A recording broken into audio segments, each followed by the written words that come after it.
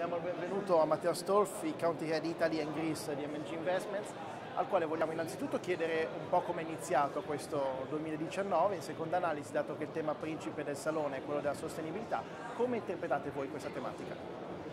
Questo 2019 è iniziato molto bene per MNG Investments, avevamo aumentato sulla maggior parte dei portafogli obbligazionari e flessibili multi-asset che hanno la possibilità di muoversi tra azioni e obbligazioni, avevamo, avevamo, aumentato molto la percentuale di azionario proprio a fine dicembre, intorno alla settimana di Natale e quindi nei mesi gennaio, febbraio e anche marzo la maggior parte dei nostri portafogli collocati e distribuiti in Italia sono andati molto bene con ampi rimbalzi da un punto di vista di performance che crediamo ci aiuteranno per il prosieguo dell'anno.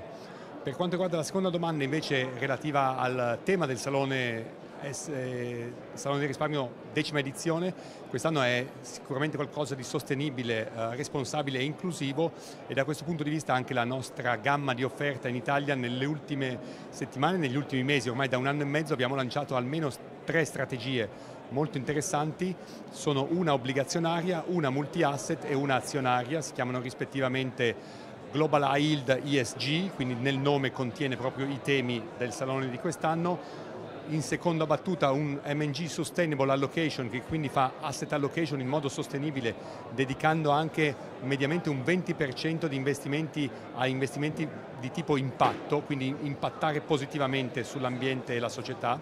e infine un Global Positive Impact Fund, quindi un, azionario globale, anche in questo caso con forte attenzione ai temi di sostenibilità e di impatto ambientale.